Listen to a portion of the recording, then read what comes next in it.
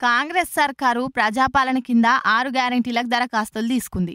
December ఇరవై ఎనిమిది తారీఖు నుంచి ఈ నెల ఆరు తారీఖు దాకా మొత్తం కోటి ఇరవై లక్షల దరఖాస్తులు వచ్చినాయట. సరే ఈ దాకా మంచిగానే ఉంది. కానీ ఈ ముచ్చట తెలిస్తే ఆర్ గ్యారెంటీ పథకాల కోసం ఎయ్యి కళ్ళతో ఎదురు చూస్తున్న వాళ్ళందరి ఆశలల్లా మన్ను పడ్డట్టే పొర్రి. ఆఫీసులలో ఉండాల్సిన దరఖాస్తులు రోడ్ల మీద షిత్తు కాయిదాలోలే దర్శనమిస్తున్నాయి. అసలు ఏమైనదంటే హైదరాబాద్ కూకట్పల్లి వై జంక్షన్ నుంచి వస్తున్న ఓ బైక్ మీదకెళ్ళి ప్రజాపాలన దరఖాస్తులు ఎగిరి బాల్నగర్ బ్రిడ్జ్ మీద షిల్లంకల్లం పడ్డాయి. ఇక బండైన ఎంబటే పక్క కాపుకొని అవిటి నేర్తుటే చుట్టుపడత పోయేటోళ్ళు సాయం చేద్దామని పోయిరు కథం. అవిటిని చూడంగానే గుండెలకు గుండ్రాయి పడ్డంత పని అయిపోయాలకి ఆడున్న అట్టెపెట్టెల దగ్గర దగ్గర ఐదు వందల మీదనే అప్లికేషన్లు ఉన్నాయట అవిటి మీద హయత్ నగర్ సర్కిల్ అని పేరు కూడా రాసుందని అక్కడోళ్ళు అంటున్నమాట. ఆ బైక్ అయినను ఏంది ఇదంతా? అని అడిగితే నాకేం తెలియదు ఎవరో ర్యాపిడో బుక్ చేస్తే తీసుకొని పోతున్నా అని బండైన చేతులు దులిపేసుకుండు. దీన్ని బగ్ ఎంక్వైరీ చేస్తే కూకట్పల్లిలున్న ప్రైవేట్ ఏజెన్సీతోటి వేలల్ల అప్లికేషన్లను కంప్యూటర్ల ఎక్కియనికే పలానా అధికారి ప్రైవేట్ ఏజెన్సీలతోటి డీల్ మాట్లాడుకున్నట్టు తెలిసింది. సర్కార్ ఆఫీసులల్లా